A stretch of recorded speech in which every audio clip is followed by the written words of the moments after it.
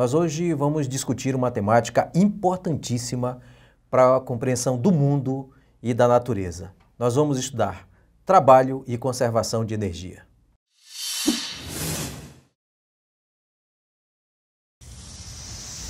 Os problemas relacionados com a produção e com o consumo de energia ocupam diariamente os noticiários na TV, nas rádios e nos jornais. Não à toa, as matrizes energéticas representam uma constante preocupação dos governos de todas as nações do mundo. Não é difícil entender que o país que possuir grandes reservas de energia garante seu desenvolvimento, uma vez que, além de poder exportar parte dessa reserva, poderá utilizá-la na instalação de indústrias, na iluminação, nos transportes e em tantos outros setores. Nesta aula, faremos uma introdução ao estudo da energia, iniciando pelo conceito de uma grandeza, denominada trabalho, que está relacionada com a medida da energia. Vamos começar pela compreensão dos conceitos. Para entender trabalho, é fundamental ter a compreensão das grandezas envolvidas. Vejamos. Primeiro, nós vamos entender que a força envolvida na nossa conceituação de trabalho, para este início de conversa, é uma força constante. Vamos considerar então uma situação concreta. Nós temos um bloco numa posição A, nós vamos submeter esse bloco a uma força F, que vai ser aplicada pela mão por meio do fio que você vê na figura. Observe que o fio distendido pela força F, forma com a direção do deslocamento um ângulo θ. O movimento vai se dar na direção horizontal, do ponto A para o ponto B, portanto, gerando um deslocamento D. Nessa situação, nós vamos dizer que o trabalho realizado pela força será dado pelo produto da força, o módulo da força aplicada, pelo deslocamento produzido por essa força, ainda pelo cosseno do ângulo θ, que é o ângulo formado entre a força e a direção do movimento, entre a força e o deslocamento, portanto. Olha, o conceito de trabalho é simples de compreender.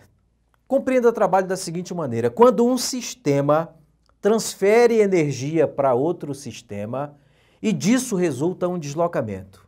Sendo assim, nós temos a realização de trabalho. Nós estamos no campo do trabalho de uma força constante.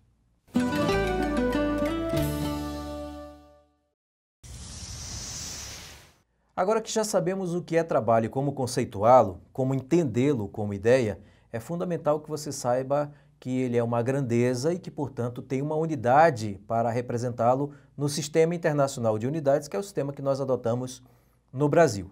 Vamos verificar isso um pouco mais. Olha, nós vamos entender que o trabalho sendo dado pela expressão força vezes deslocamento vezes o cosseno do ângulo entre a força e o deslocamento, primeira coisa, este cosseno de θ é um número adimensional, portanto não tem uma unidade para representá-lo.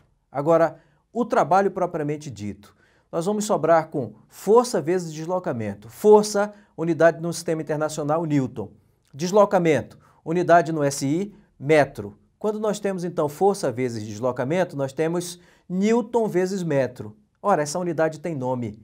Ela se chama Joule.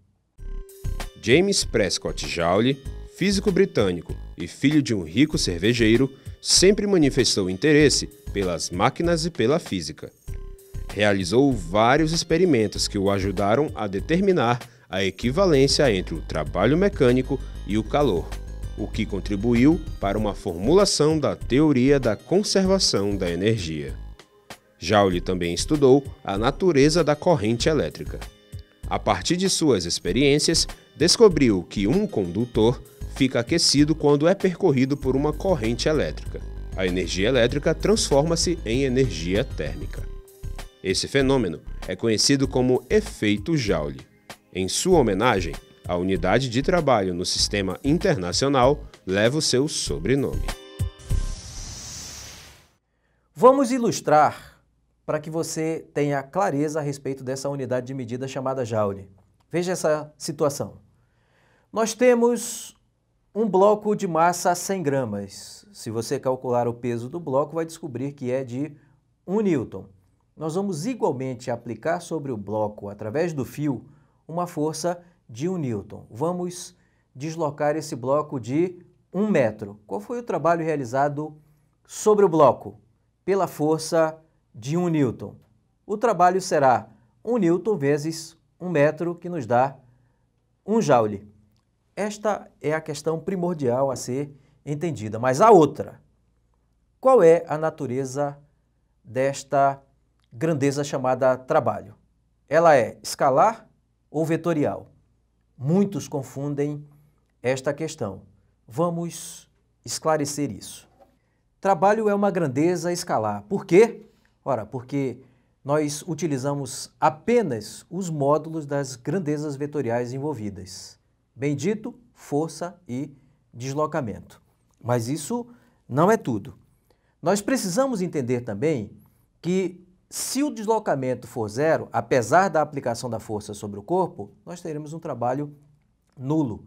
A força aplicada sobre um corpo que não gera um deslocamento também gera um trabalho nulo sobre esse corpo. Você pode ter que, se alguém ergue sobre sua cabeça uma massa qualquer esteja se esforçando para manter naquela posição, mas se não houver deslocamento, o trabalho dessa pessoa é nulo.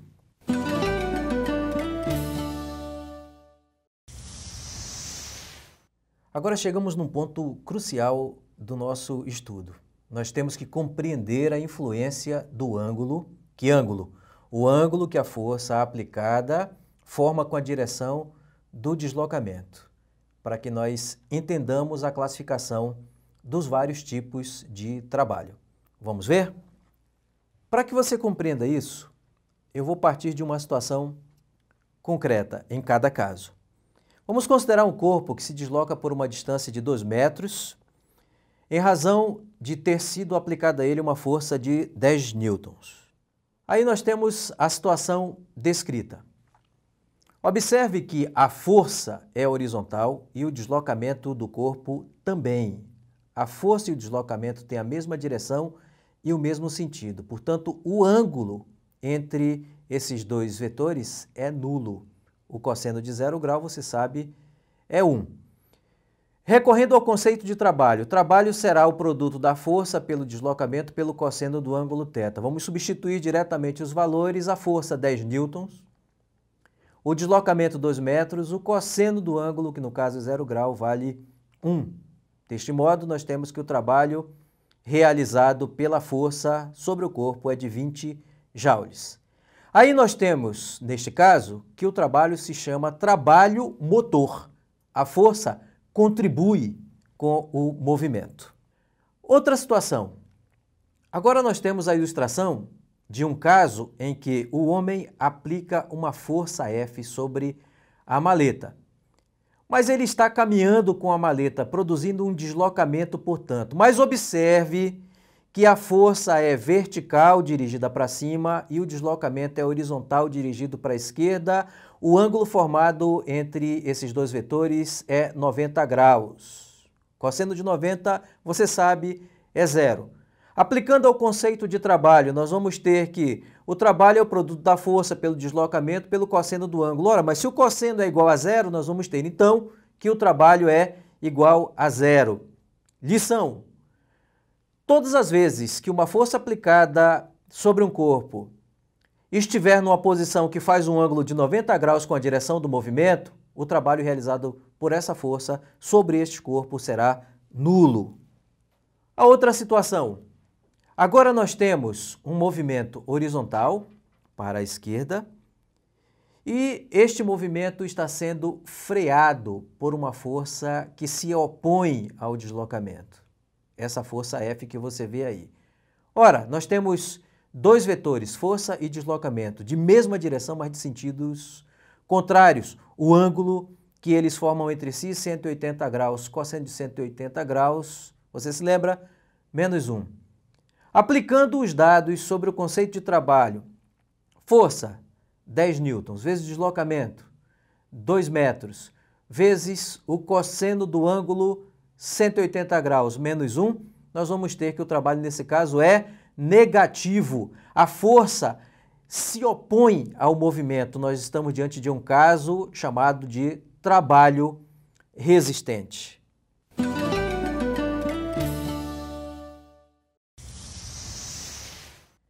Você entendeu como calculamos o trabalho de uma força individual. Mas geralmente isto não acontece assim nas situações físicas. Nós teremos quase sempre que um mesmo corpo ou um mesmo sistema está submetido à ação de múltiplas forças. Qual é o trabalho resultante? Perguntando de outro modo, qual é o trabalho exercido pela força resultante que atua sobre o sistema? Vamos pensar nisso. Nós teremos uma situação para ilustrar o que vamos demonstrar. Temos aí um ponto material submetido à ação de quatro forças, conforme você vê. As forças F1, F2, F3 e F4. Suponha que, nesta situação, as forças exercidas tenham os seguintes valores e direções. F1 tem o valor de 2 vezes 10 elevado a menos 4 newton, e está na direção do deslocamento, portanto, o ângulo que a força forma com o deslocamento é 0 grau. F2 tem um módulo de 4 vezes 10 elevado a menos 4 newton, formando um ângulo de 30 graus com a direção do deslocamento. F3 tem um módulo de 2 vezes 10 elevado a menos 4 newton, é perpendicular ao deslocamento, formando com ele, portanto, um ângulo de 90 graus. E por fim, F4 cujo módulo é 5 vezes 10 elevado a menos 4 newton, atua no sentido contrário ao deslocamento, formando, portanto, um ângulo de 180 graus com este deslocamento. Ora, considerando que a distância entre os pontos A e B seja de 2 metros, nós vamos calcular o trabalho realizado por cada uma das forças. Vamos começar pela força F1, que vai realizar sobre o bloco um trabalho T1. A força é 2 vezes 10 elevado a menos 4. O deslocamento 2 metros, o cosseno que a força F1 forma com o deslocamento é 0 grau. Teremos, portanto, que o trabalho realizado pela força F1 é T1 igual a 4 vezes 10 elevado a menos 4 joule. T2 Força vezes deslocamento vezes o cosseno do ângulo. 4 vezes 10 elevado a menos 4 é a força, o deslocamento é 2 metros, cosseno de 30 graus. Teremos, portanto, que o trabalho realizado pela força F2 é T2 igual a 6,9 vezes 10 elevado a menos 4 joule. Agora, o trabalho realizado pela força F3 a força tem intensidade de 2 vezes 10 elevado a menos 4 newton vezes o deslocamento 2 vezes o cosseno de 90 graus. Como o cosseno de 90 graus é zero, será nulo o trabalho realizado pela força F3. Finalmente, o trabalho realizado por F4 será o módulo da força F4, 5 vezes 10 elevado a menos 4, vezes o deslocamento 2 metros, vezes o cosseno de 180 graus, como vimos. Sabendo que o cosseno de 180 graus é menos 1, veremos que o trabalho realizado por F4 é menos 10 vezes 10 elevado a menos 4 joules. Bom, vamos respirar um pouco para que você compreenda o seguinte. O que fizemos até aqui é simples, calculamos o trabalho de cada uma das forças individualmente no sistema. Mas isso não funciona assim. O sistema corpo está submetido à ação de múltiplas forças, como vimos. Cada uma tem a sua ação contributiva para um resultado final sobre o trabalho. Qual é esse trabalho? O trabalho realizado pela resultante. Vamos ver? O trabalho realizado pela força resultante, que nós vamos chamar de simplesmente T, será dado pela soma algébrica dos trabalhos das forças componentes.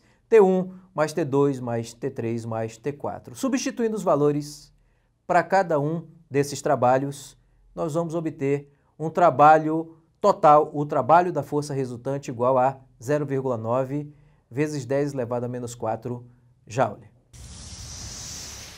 Bom, nós chegamos ao fim da nossa aula. Estudamos o trabalho de uma força constante, individualmente, e o trabalho da força resultante sobre um sistema. Espero você na nossa próxima aula. Até mais.